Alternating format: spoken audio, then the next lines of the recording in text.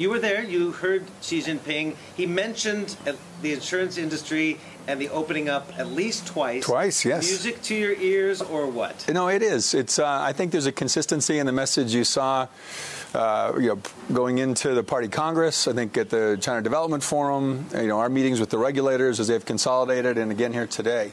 Uh, I think you know, for the insurance in China, uh, has gone through a couple of major reforms. It's mm. gone through a regulatory reform with what they call C-ROSS, which yes. is a, a, a, very effective new capital regime in place. Uh, there's a, a, regulatory look to what the role of insurers are versus banks that was that was uh, you know, quite well handled, I think, and.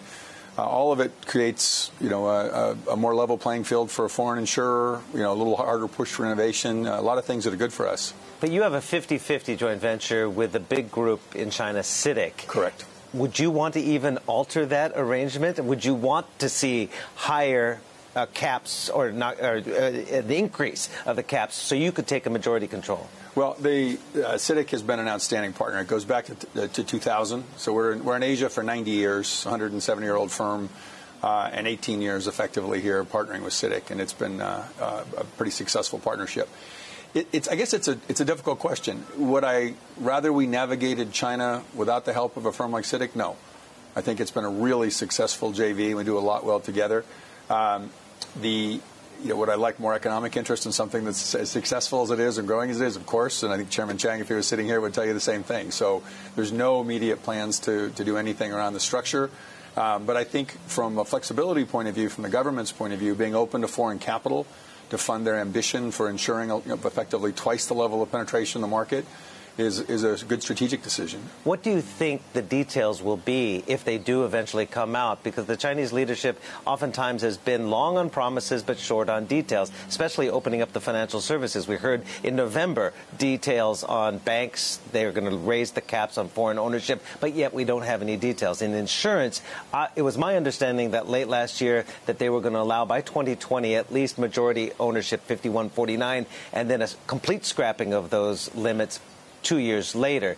Do you think that's the kind of the roadmap they're looking at? Well, I, I, think it's multidimensional. I think to your point on ownership, yes, in both asset management and in the insurance uh, space, to exactly to your your point and, uh, your timetables.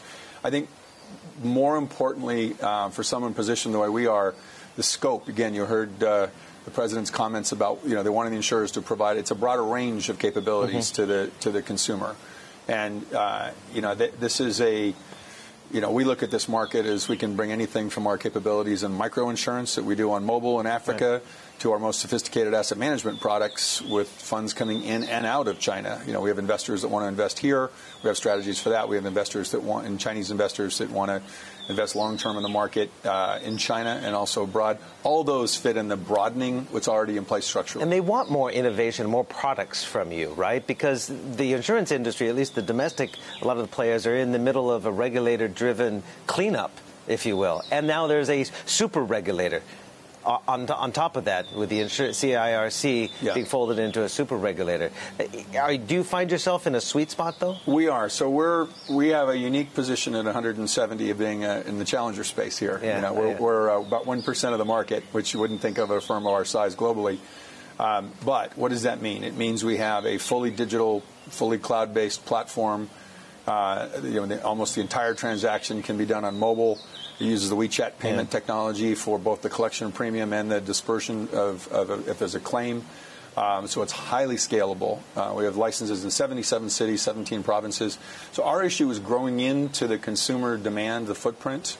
And I think for the industry, candidly, transitioning from bank savings products to the more traditional protection, protection products is what. Because you weren't in those savings no, products that this, were more risky. this is what insurers do best, right? Is our job is intermediate term and long term savings and protection. That's where we belong in the capital stack. Where's the opportunity really to boost the percentage of insurance coverage in China up to, I guess, right now it's below 3% of GDP. 2.4. 2.4. The yeah. U.S. is 7. Uh, the U.K. and Japan, they're 10%. Yeah. Uh, where is China heading? China rising wants, middle class. The, the, you know, the most of the politicians we talked to wanted around five, and they'd like it there sooner than later. Yeah. The, to give you an idea, the gap between the existing position and a five would be about the, just the difference would be about the size of the entire U.S. market. So you know, it's a massive uh, increase in, in uh, balance sheet need and service and product, uh, but it also in social protection. The And how do you define it? I guess the easiest way to define it would be, uh, and you see this across Asia, savings rate. People self-insure. Yeah. So that number is close to 40% in China. Uh, you know, it's we we can de-risk that consumer's position instead of them insuring themselves effectively. We can get that money back in the real economy. That's Yeah. good for them. That's good for the government. That's good for our shareholders and stakeholders. How's new business profit looking at? That's a key measure for future business, if indeed you're going to be getting a lot more favorable treatment, if you will, and also business. Uh, do you see that? Uh, it, I think it more than doubled for you in It, 20, it did, and it, uh, uh, and it's you know we're up to we're about a million clients, which in any other market would be a lot. About two million policies in China. That means we've got a long way to go. Uh, it's a uh, the profitability of what we sell here is good, uh, and the you know and the value for the consumer is very good, and the and the experience. You know, one of the things about fintech and innovation here is. It, where, where it impacts insurance is the consumer's expectation of how they interact with you. So this is some of our best platforms and best technology. Very quickly, I believe you've applied for a WFOE for management, uh, asset management through Eastspring Investments Correct. in Asia. How's that progressing really Uh, quickly? seems to be going fine. Everybody's, uh, you know, no, no snags, roadblocks, uh, you know, moving along at pace. So again, it's consistent with the government's comments. All right, Mike Wells, Prudential CEO. Thanks so much for your time. My pleasure.